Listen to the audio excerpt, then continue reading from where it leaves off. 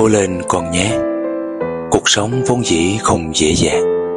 Mỗi nhà, mỗi cảnh Mỗi người, mỗi nỗi khổ tâm riêng.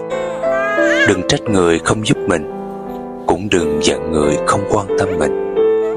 Sống trên đời này, Ai cũng phải tự